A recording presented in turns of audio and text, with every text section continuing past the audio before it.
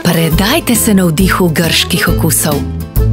Od ponedeljka v Lidlu, polnjen polš iz listnatega testa 2,99 evra in slastna baklava 2,99 evra. Grški teden v Lidlu, potrjeno najboljši nakup. Lidl, preprosto več za vas.